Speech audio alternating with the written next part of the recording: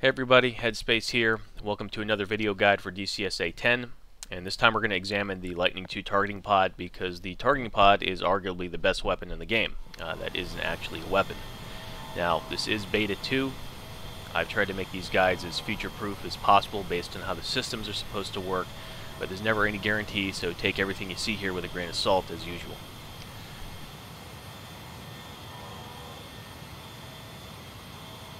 Now, everybody knows that the targeting pod is this awesome little device with freaking laser beams in it that hangs off the side of your plane and designates targets for you. But its real power lies in the high resolution CCD and FLIR cameras that it has.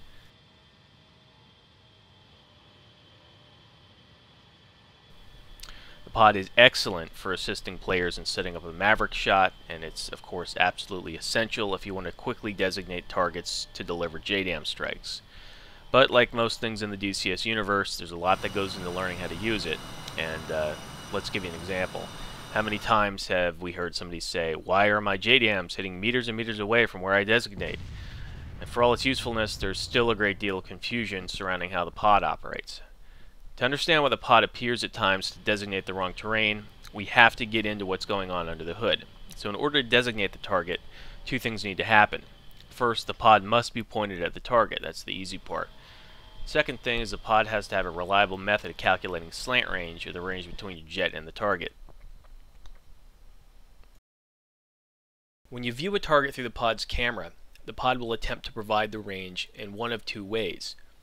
First, if you're not actively lasing the target at a suitable range for the laser rangefinder to operate, it'll compute slant range based on known terrain elevation. In other words, it's going to target the ground it finds along the pod's line of sight and ignore any objects in its path since they're not included in its terrain database. We might mistakenly assume that the point being stored when you designate a mark pointer sensor point from the pod is what's seen in the camera, but that's not always the case as we can see here. In order to get a more accurate range to the target, we have the option of hitting it with the laser rangefinder from the pod. This might not always be an option, but it delivers far more accurate slant range at low angles to the target. Of course, the most effective way to designate a target with the pod's line of sight is at a high angle. This will allow for far more wiggle room because you'll be designating from a top-down position and thus you'll mark the ground underneath the target.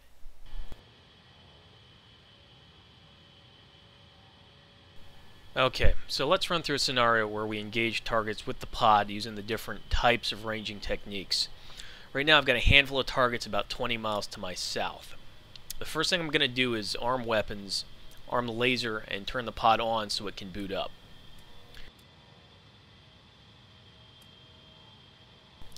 The pod is going to initially show a not timed out message and then run through its built-in tests before becoming available to use.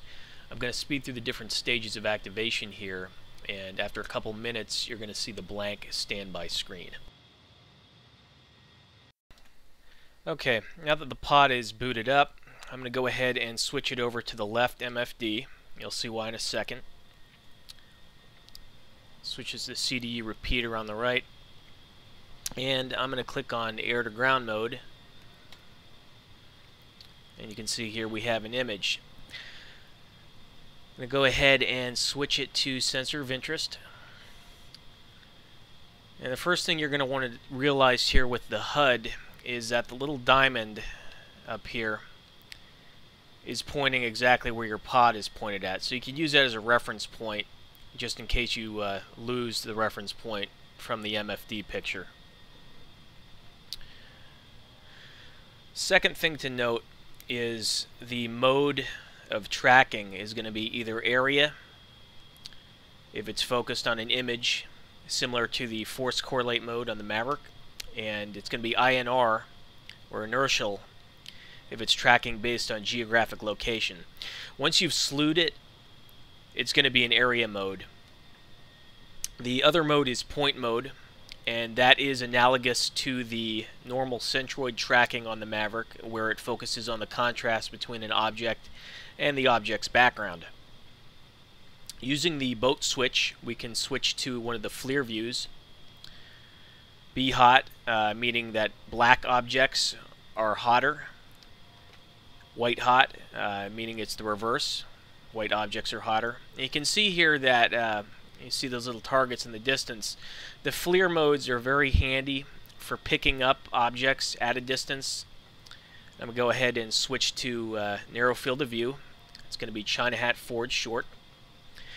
And then I'm going to zoom in to one of these objects with the DMS forward. And finally I'm going to do boat switch middle, switches CCD, and I've got myself a truck here. Pushing forward just a little bit more. I'm going to do TMS forward short to switch to point mode. I am now locked onto that point, and it's going to want to stay locked on. You see I'm trying to slew it here. Now let's talk about how it derives the range. Right now, the laser is off, and the pod is in strict line of sight mode. You can tell by the T right here. L means that the laser is selected, not the infrared laser, just the regular ranging laser, designating laser. And if I toggle the laser mode up here, you can see that the infrared laser, or the infrared pointer, is now selected. Hitting it again, both are selected. You're going to see a B there. And I've switched back to my normal laser. I'm going to go into my control page and turn latching to on. And what latch on does is it allows me to keep the laser on just by hitting the laser button. Otherwise, if latching was off, I would be lasing just as long as the button was depressed.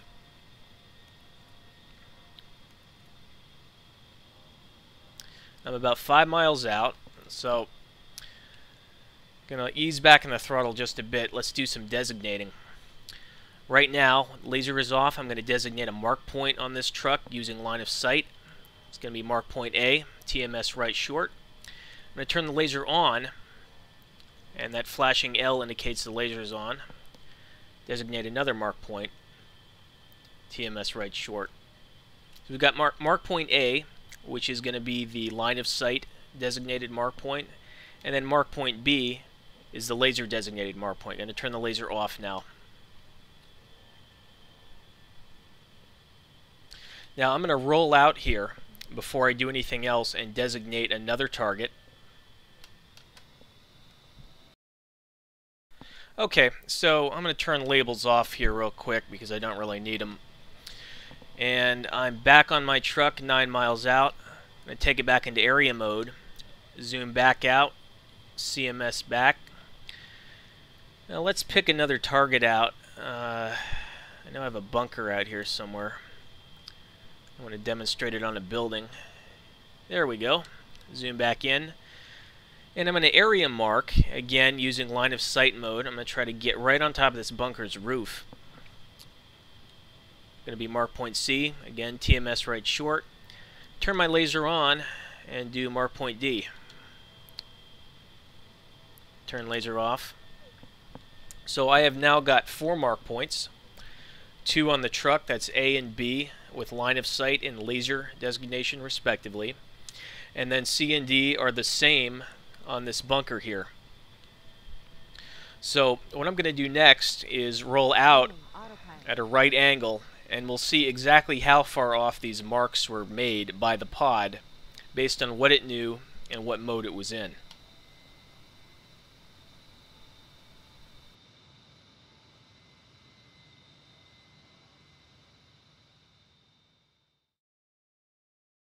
Okay, heading east, I've turned all the way around and you'll notice that I've bore sighted the pod with uh, China hat rear short and zoomed all the way out.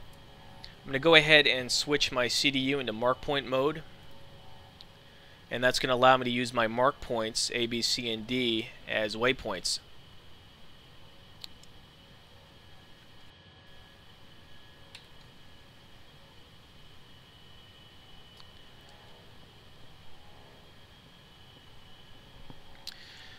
Alright, let's select mark point A and I'm going to hit China Hat forward long, slew to mark point A with the pod, decrease field of view, and you can see here what we saw in the diagram for line of sight mode has come true quite literally. It is pointing behind the truck because it did not really see the truck there. It just saw the terrain because the computer has no knowledge of the truck and thus designated behind it. Uh, let's switch to mark point B and in this case it designated right in front of where the laser mark was.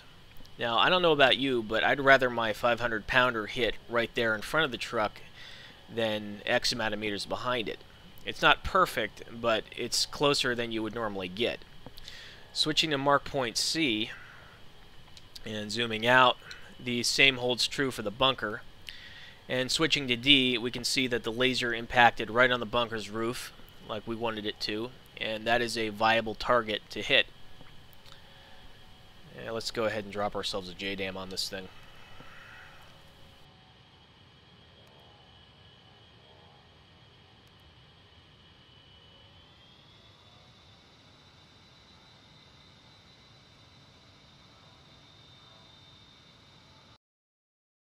Now what I generally like to do using line of sight is to aim at the base of the vehicle, right between the wheels or on the wheel. And that'll get the marker uh, close to the base of the vehicle instead of behind it. And area mode is helpful when you're doing this. Point mode is going to get you right on the vehicle. Area mode gives you a little bit more granularity. So now that the JDAM is headed toward its target, I hope that this was helpful for you and that it taught you a little bit more about how the lasers work in terms of ranging. And I'll see you next time. Take care.